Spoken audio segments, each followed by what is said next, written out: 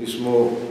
prvo da vam kažemo, u jednoj iskorišćenoj priručnoj prostoriji mesne kancelarije. Prava mesna kancelarija je u fazi izrade i mi to sada baš žurimo, vidiš i da su radovi u toku, da je pripremimo i završimo do naše slave sela, seoske slave Aranđelovdana.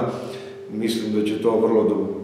brzo da bude gotovo, ostalo nam je još par stvari oko poda, sređivanja i da se ubaci neki nameštaj koji trenutno imamo sada, tako da nadam se da sledeći vaš dolazak bit će u jednoj prostoriji e,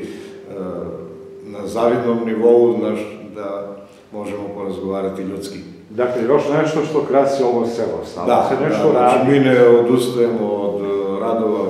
u selu, činjenica je da smo mi, naš centar od centra grada Pirota na 5 km,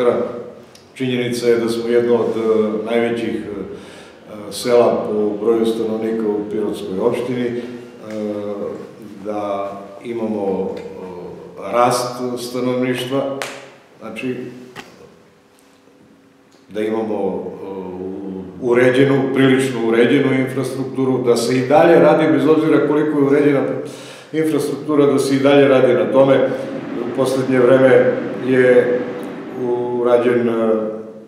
optički kaval, e, promena zamena vodovoda, kanalizacija, unazad e, nekoliko godina je urađena i renovirana škola, znači mogu da se pohvalim da brojčano u svakom udeljenju škole imamo dosta đaka, nije kao u školama gde ima po jedan ili dva đaka, da imamo predškolsku, znači vrtić i da je stalni e, prirast e, stanovništva. Znači, vrlo malo ima osipanja, odlazaka u grad, čak što više ima povrataka u grad, povrataka iz grada u selo, a e, bez obzira što, da kažem što su to ljudi koji su nekada otišli, pa sada zbog smanjenja stambenog prostora kao penzioneri se vraćaju na svoju postojbinu i kreću ponovo nešto da rade ili ne rade, došli samo da odmaraju i da penzionišu u našem e, selu, ali opet je to e, nešto sa čime možemo da se pohvalimo. Koliko stanovnika ima selo? Pa stanovnika približno oko 2000, Da. To je zaista impozantna brojka. Jeste, jeste. 550 domaćinstva, e, od kojih aktivnih su to negde možda oko 500, znaš, 1100 mislim da su birača preko 18 godina. E, kada sve to imamo pored, pored toga, pored te infrastrukture, računamo se kao prigradsko naselje, imamo i autobuski pre, prevoz e, do grada koji je u okviru sat ili dva, znači uvek ima, e, kao i svako prigradsko naselje,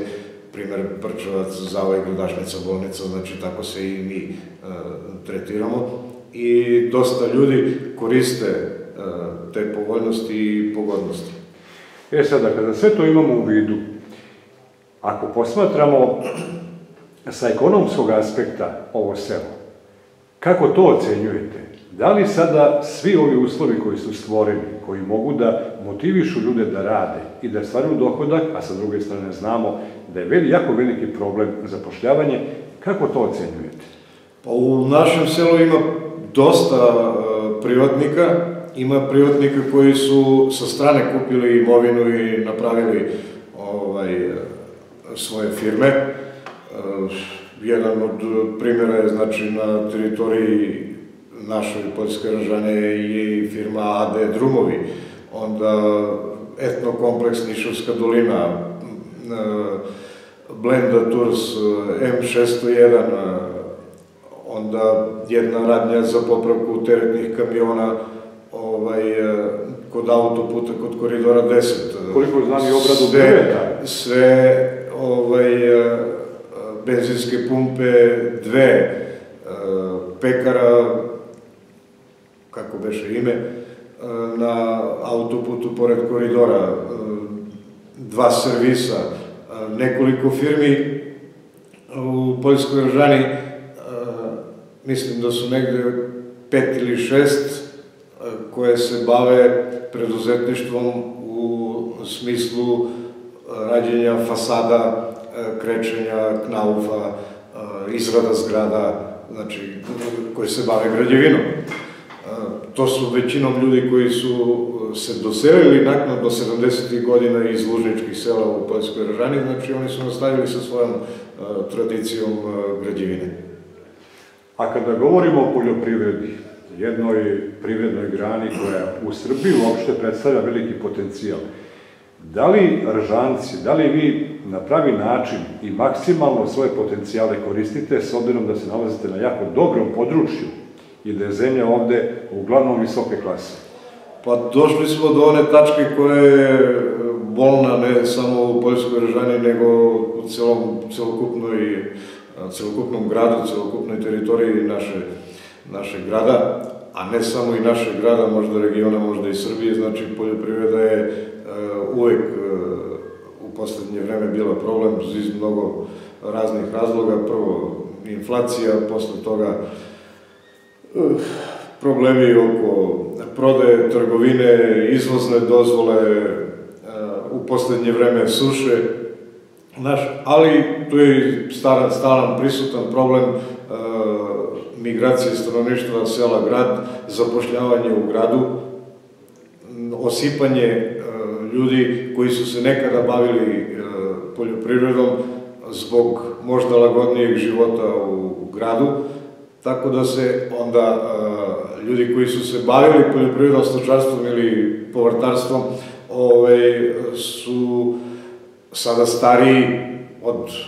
80. godina, za 30 godina i više, oni nisu u mogućnosti to više da rade, njihova deca su već možda zapošljena, pa imaju i ona, oni decu, e, ipak se juri obrazovanje, fakulteti, e, Niš, Beograd, naš, manje se vodi računa na e, poljoprivredu i stočarstvo. Ne mogu da kažem da je to kompletno tako, Znači, prisutno je to, međutim, e, ima ljudi entuzijasta i koji su i dalje nastavili sa radom i koji i dalje rade i koji to rade profesionalno, odgovorno, znači, sa uh, primjenom agrotehničkih mera, sa ovaj, registracijom poljoprivrednih gazdinstva, znači sa količinom, što uh, je nekada bilo da svaka kuća ima po dve krave, eventualno konja, da svaka kuća ima po pet ili deset ara paprike i paradajza, kupusa na jesen. Sada, u poslednje vreme, se to smanjilo, svelo sve na mali broj ljudi koji se bavi e, stočarstvom, odnosno, da kažem, govedarstvom. Konja, mislim da ima dva ili tri u, tri u selu, znači što je nekada svaka druga kuća imala konja, jer je to bilo osnovno sredstvo da se ode do njive i da se rade poslovi u njivi, sada su to zamenili traktore. Znaš, e, farmi vrlo malo e, ima registrovanih sa identifikacijenim brojem, što je prisutno u celoj opštini, jer je to problem e, još kod zelenog plana nekadašnjeg, kada se radilo vrlo malo farmi je izgrađeno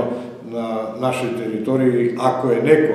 koristio program zelenog plana tov, svinja i junadi, on je radio u priročnim prostorijama, gledao je da sa tim što ima iskoristi i napravi veći profit, a ne da napravi objekat koji će kasnije da mu ostane i da može da sa njim funkcioniše bilo kada. Ne moraš ti, kad imaš objekat, ne mora da radiš ove godine, ako nešto nije u paritetu dobro, ali sledeće godine, druge godine, treće, četvrte, pete, tvoje deca, tvoje unici će da rade ako imaš objekat. Ako nemaš objekat,